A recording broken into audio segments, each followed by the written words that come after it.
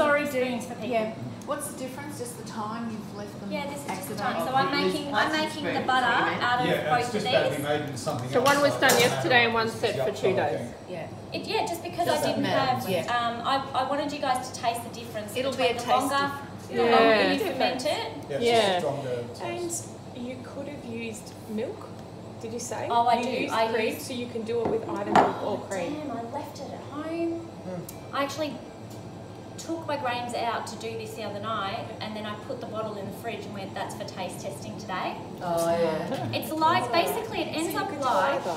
yeah, it like ends up like a drinking yogurt. Yeah. I made a whole lot this morning, and, uh, which is part of He's like, test. Can you bring out one of Yeah, your exactly. Yeah, I've got kefir seeds here. Yeah, have you got? Can we see them? Yeah. I want, I'm So still they thinking can in my them head, without what taste. is Yeah, that I- I age don't on know. telegram? I don't know what that will look like. No, either do I. Yeah. I have wondered. That's Edward. Right. Gauge two is Edward. All right, that's what we're just just sussed that. Yes, Yes, that's that's right. it. We just did.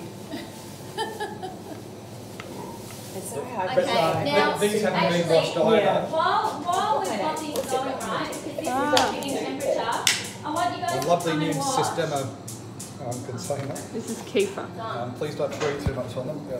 Come and watch the Yeah, that's, magic. that's not been washed through. Oh, I bought okay, yeah. them washed through. Oh, okay, yeah.